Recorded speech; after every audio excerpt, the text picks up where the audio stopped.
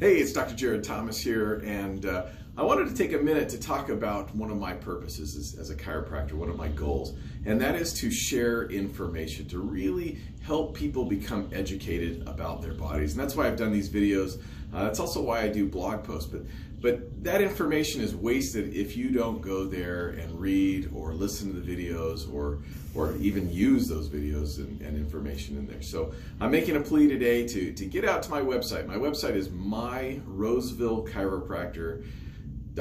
Okay, and you can search it easily. If you just type in Roseville Chiropractor, uh, you'll find me and my name, my practice.